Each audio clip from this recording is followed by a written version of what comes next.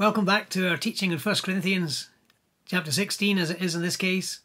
Last uh, recording, we dealt with devotion, dedication, service, and recognition, and uh, God does appreciate, and we do appreciate, or should at least, those who serve God um, tirelessly. This section, verses 17 and 18, is the recognition of the fellowship of three brothers from Corinth. This is about spiritual refreshment, essentially spiritual. Let me read them to you, verses 17 and 18.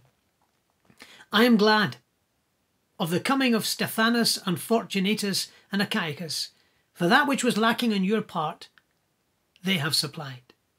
For they have refreshed my spirit and yours. Therefore acknowledge you them that are such. Isn't it wonderful when, when you are excited about meeting Christian? Maybe you're not. Maybe you find it's a really difficult thing and you're a bit bored or they're not that exciting. Well, Paul wasn't like that. Paul says, I'm glad, I rejoice. I'm I'm delighted that they're coming, and he uses that word that we often hear preachers talk about, parousia, and uh, the the idea of that they've left and they're journeying and they're going to arrive, and of course it's it's taught in the context of the coming of the Lord Jesus. He says, you know, I'm really excited. These people are coming. Here are three people that have refreshed me. Listen, listen to what he says. I was glad for the coming of Stephanus and Fortunatus and Achaicus. Why? He says, because they, that which was lacking on your part, they have supplied. He's not criticizing the Corinthian believers. I, I don't think he is. He's saying you were not able, you were not in a position to meet my need. You couldn't meet my need and satisfy me at this point in time because of location and because of circumstances. But here are three men, Stephanus, Fortunatus, and Achaicus, and they refreshed Paul in his spirit. It's great when you meet Christians that refresh you in your spirit. This is the same rest the Lord Jesus talked about in Matthew chapter 11, verse 28. Come unto me, I will give you rest. There's refreshment through knowing God's people. There's refreshment through knowing God's word. There's refreshment through enjoying the presence of our Lord Jesus Christ. It's the rest of Mark chapter 6, verse 31, where he says, Come you apart and rest a while. There's refreshment to be found in the presence of our Lord Jesus Christ. And he orchestrates rest for us. We need to take it. We need to, to think it. We, we need to, to, to spend time in his presence we need to rest in Christ and enjoy it. It's the ease that the rich farmer of Luke chapter 12, verse 31 desired. Take thine ease, refreshment, rest. Of course, he was basing that on a false premise. He was building barns and pulling down and building up so that he could take ease.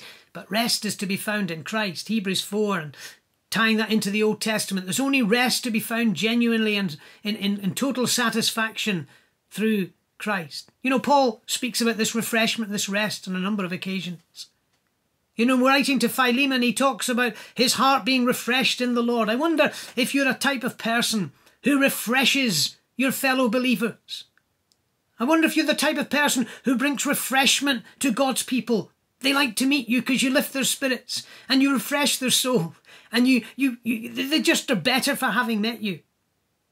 It's the same idea as 2 Corinthians chapter 4 verses 16 to 18.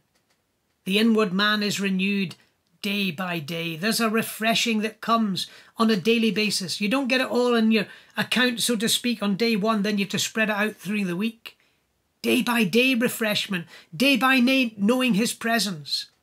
The inward man is renewed day by day. It's Romans chapter 7, verse 22. After going through the struggles of Christian life and the ambitions to do right and the failures when you do wrong, he says, I delight in the law of God after the inward man. I delight in it. It's a wonderful thing. I wonder, my dear believer, as you listen to this today, have you been refreshed by some believers? Then tell them, like Paul is doing here. Let them know that you're glad and you rejoice and you're delighted and that they've met your need have you refreshed other believers?